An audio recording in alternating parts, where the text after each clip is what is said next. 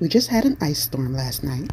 I go outside, it looks like any other wintry day, but the snow is very hard and slippery underneath my feet.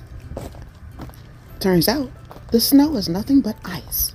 I turn around to look for my footprints and there aren't any. My car won't open.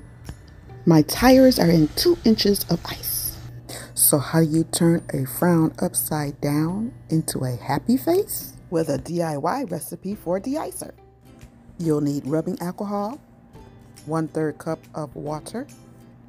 Pour the water into two thirds cup of rubbing alcohol.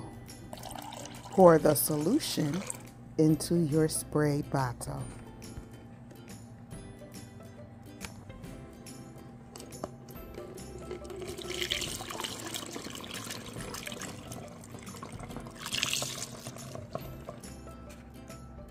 I sprayed around the edges of the door. In a few seconds, it did activate.